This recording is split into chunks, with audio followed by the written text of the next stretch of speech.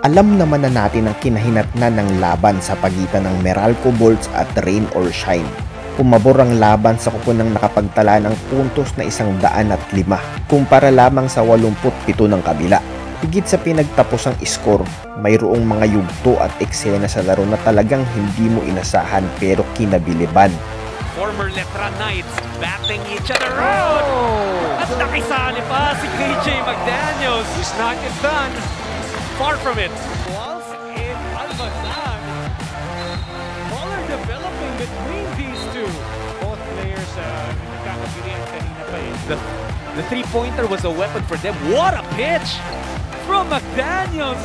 Matapos matagal na hindi narinig ang pangalang James Yap sa liga, muli na nga siyang nagbabalik at nagbabaka sakaling muling pumutok ang pangalan. May natitira pa bang galaw sa manalarong tinaguriang man with a million moves? Makikita ang sagot noong sa ikalawang quarter siya ay nagpasabong. using one of his million moves.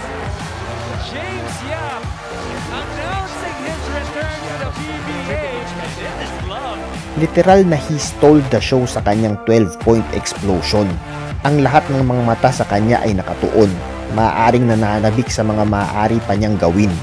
Ang matagal na nananahimik na kanyang mga fans, muling nagsisigaw para sa kanilang iniidolo na ngayon ay sa lungsod ng San Juan ay kasulukuyang nahalal na konsihal.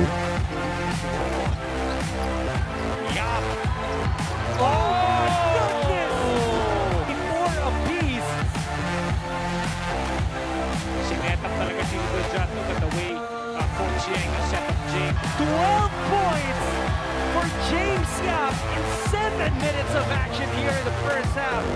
Sa pagbabalik ni James Yap sa hardcourt, mayroon ding isa pang nagbabalik na manlarong ang ngalan ay KJ McDaniels.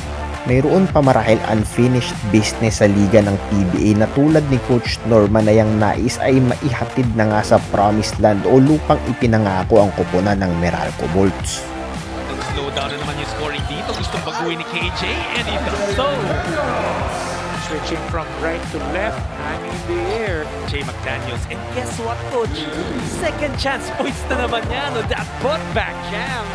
Kung si James Yap balik eksena at inangkin ng isang quarter, itong import na mababakas mong balik kondisyon na italaga namang all-out buong laro.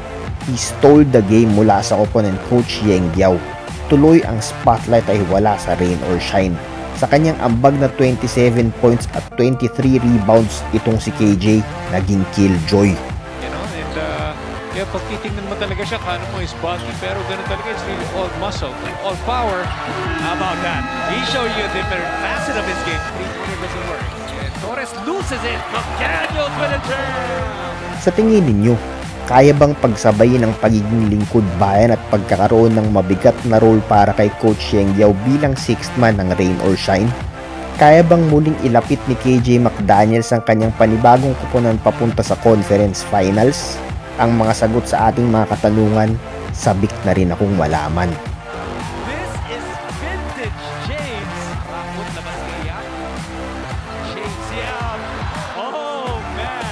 KJ McDaniels now in takeover mode, Then definitely he can put the ball on the floor and finish it. suddenly, Meralco has built a seven-point lead. Knows that he is really having that hot hand at this stage. Everyone missed James Yap.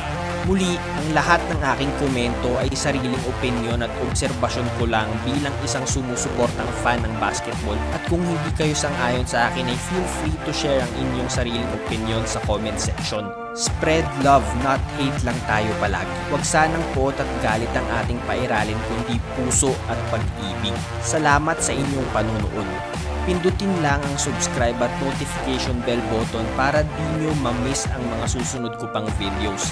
Salamat sa suporta. Hanggang sa muli.